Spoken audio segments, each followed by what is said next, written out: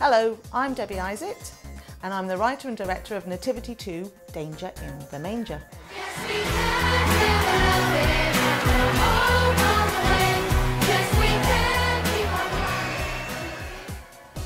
The first thing I have to think about when I start writing a song is what's the story I'm trying to tell, and who are the characters, and what are the characters trying to say. So, what's the message behind the song?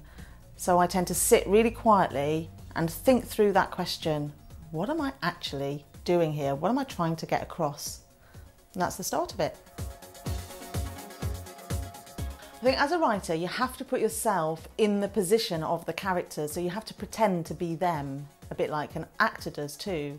So I wanted to write Yes We Can about a group of children trying to overcome something difficult.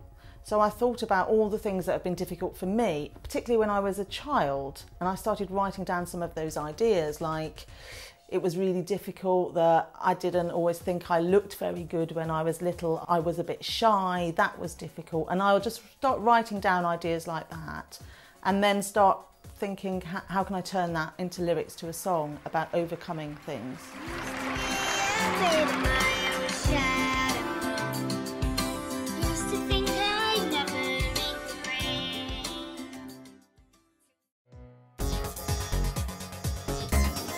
I think what's sometimes difficult about writing lines for songs is the rhyming because sometimes you have a great line um, but you can't think of anything to rhyme with the last word and then you have to change the line that you really love just because otherwise it won't work. Um, but I think the ideas for the words come quite easily once you've decided what it is you want to say.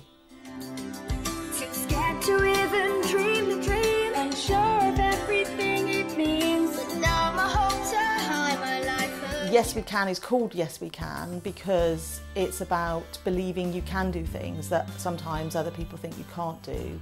So even though it's really, really simple, it's just three words, Yes We Can, they are the words that I want people to take away from the song. Yes, we can do that thing that people think is impossible, even that I think is impossible. I can do that thing, but particularly if I've got my friends with me, yes, we can. As a team, we can we can overcome things.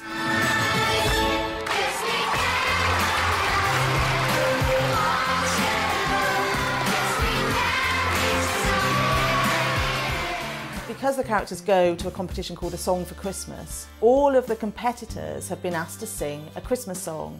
So I had to work out what is a Christmas song? What makes a good Christmas song? Um, and I had to figure out 10 of those really, because there's 10 competitors. And how can I turn Yes We Can into a Christmas song? So I suppose it's a question of what does Christmas mean to you or to that character? And for some people, Christmas is about lots of toys, and for some people, Christmas is about the birth of baby Jesus, and for some people, Christmas is about jingle bells and sleigh bells. And with Yes We Can, it, Christmas was about achieving your dream, reaching your goal, and that's what makes the characters happy. And Christmas is associated with happiness. So that's why I make that into a Christmas song.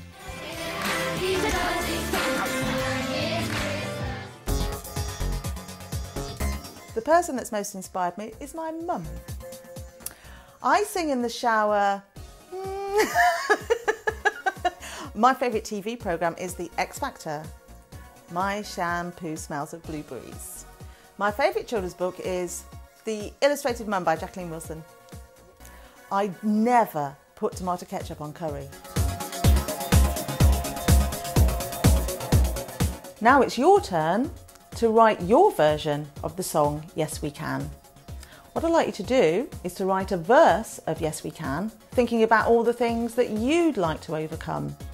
Think maybe you're shy, maybe you're scared, maybe you're fearful of something. Put that into the verse. So over to you guys. Go and have a think about it.